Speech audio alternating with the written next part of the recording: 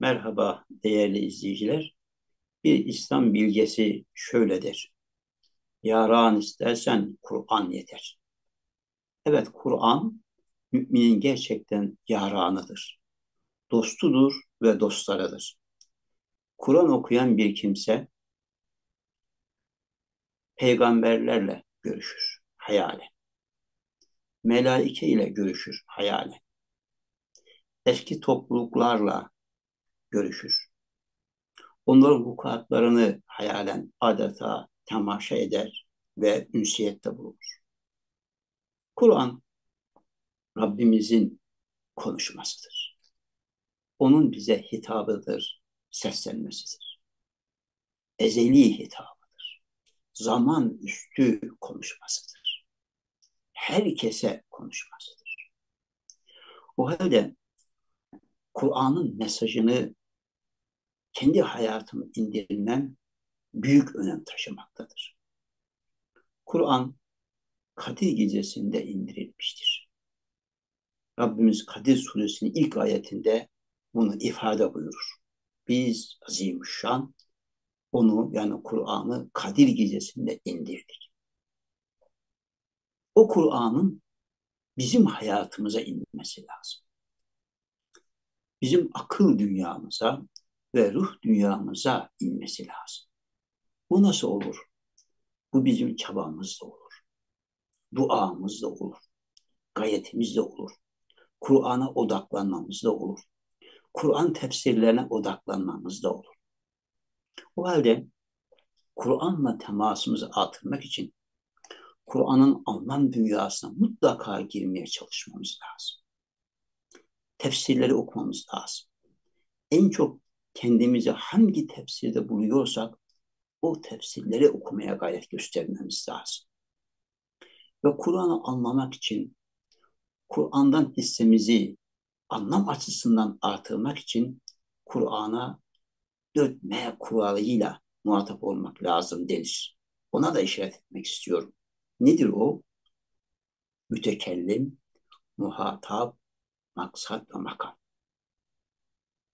Mütekellim kimdir Kur'an'da? Mütekellim konuşan demek ya, konuşan kimdir? Rabbimizdir. Kainatta fiilleriyle konuşan Rabbimiz, Kur'an'da kelamıyla konuşmaktadır. Sözüyle, sözleriyle konuşmaktadır. Muhatap kimdir? Bütün insanlar ve o insanlardan birisi olarak her birimiz fet olarak Kur'an'ın muhatabıyız. Peki Kur'an'ın maksadı nedir? Kur'an'ın maksadı evvel emriydi. Uluhiyeti yani şu alemin halikini tanıtmak, onun tevhidini ortaya koymak, mutlak birliğini ve ona karşı biz insanların nasıl kullukta, ubudiyette bulunacağımızı öğretmektir. Bu da onun indirdiği kitaplara bilmek, gönderdiği peygamberlere iman etmekle gerçekleşir. Onun için denir ki Kur'an'ın temel maksatları tevhiddir, nübüvvettir, ahirettir, bir de adalettir ibadetle beraber. Haşir ya da ahiret Kur'an'ın en temel maksatlarından birisidir. Bizim önümüz nedir? Sonumuz ne olacaktır? Bu hayatın başlangıcı nedir? Bu hayat nereye gidecektir? Dolayısıyla Kur'an haşirden, direnişten, ebedi mükafattan ve ebedi cezadan bahseder. Ve Kur'an aynı zamanda adaleti gündeme getirir. En küçük ölçekte olduğu gibi sorumlu olduğumuz en büyük ölçekte de adaleti en geniş kapsamıyla gerçekleştirmeye çalışmamız icap eder. Ve ayetlerin de bağlamı vardır, makamı vardır. Her ayeti kendi bağlamında, kendi makamında anlamaya çalışmamız icap eder.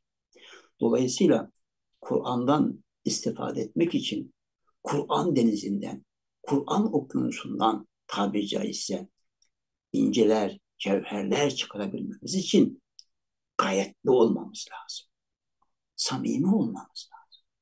İttiga, takva içinde olmamız lazım. Kur'an en başına der ki Kur'an hüdenlil müttakin, müttakilere kılavuzdur. Takva ehline yol göstericidir. Eğer takva problemimiz varsa Kur'an'dan istifade edemeyiz. O halde Kur'an'ı ittika, takva şuuru içerisinde okumaya çalışmamız lazım. Meallerden okuyabiliriz. Tefsirlerden okuyabiliriz. Ama unutmamak lazım. Her meal çok noksatlıdır. Her tefsir çok eksiktir. Ama biz çeşitli mealler okuyarak, tefsirler okuyarak ve kendimizi de Kur'an'ın birinci derecede muhatabı görerek Kur'an'a yaklaşmamız lazım. Rabbimiz bana ne diyor diye muhatap olmamız lazım. Kur'an kimden bahsediyor olursa olsun, hangi toplumlardan, tarihin hangi dönemlerden, dönemlerinden, hangi milletlerden, hangi kesimlerden bize mutlaka bir mesajı var. Ona odaklanmamız lazım. Bana ne diyorum? Ben bu ayetten bugün hayatıma dönük olarak hangi mesajı almalıyım sorusun mutlaka sormak lazım. O zaman tabi caizse ayetler bize konuşmaya başlar. Kur'an'dan bilgi edinelim, tarihi bilgi diye değil. Kur'an doğrudan doğruya bana hangi mesajı veriyor diye bakarsak eğer Kur'an yavaş yavaş kendisini açmaya başlar. Biz Kur'an'ı anlamaya çalıştıkça Kur'an bize hakikatlerini ortaya koymaya ve paylaşmaya başlar tabiri caizse. Dolayısıyla düşüncemiz, bizim tavrımız son derece önemlidir. Samimi olmak icap eder. Dua ehli olmak icap eder. Kur'an'la aramızda perdeler varsa o perdeleri kaldırmak icap eder. Samimi bir gönülle. Rabbimiz bana sesleniyor bilinci ve şuuru içerisinde Kur'an'ı elimize almaya çalışmamız lazım. Evet Kur'an'ın tilaveti de büyük sevap getirir. Yahut kıraatı da büyük sevap getirir ama biz Kur'an'ı anlamaya çalışmakla yükümlüyüz. Velakat Yeslenir Kur'an ve zikir hel müddekir ayeti bize bunu e, tabiri caizse dile getirir. Kur'an'ı Allah kolaylaştırdı, inceledi, kolaylaştırdı. Anlayan yok mu diyerek bizim anlamamıza, bizim düşünmemize dönük Kur'an bir mesaj verir. O halde Kur'an'ı anlamak için, Kur'an'ı kendi dünyamıza indirmek için özel çaba sarf etmeliyiz. Kur'an tefsirleri okumalıyız. Kur'an tefsiri yapılan programlara, sohbetlere iştirak etmeliyiz. Böylece Kur'an'ın akıl dünyamıza ve gönül dünyamıza inmesi için çaba sarf etmeliyiz.